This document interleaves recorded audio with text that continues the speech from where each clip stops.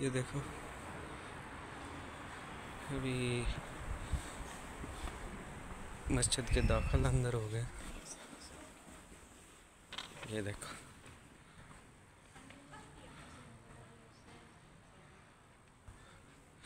यही इस मस्जिद की खसूसियात है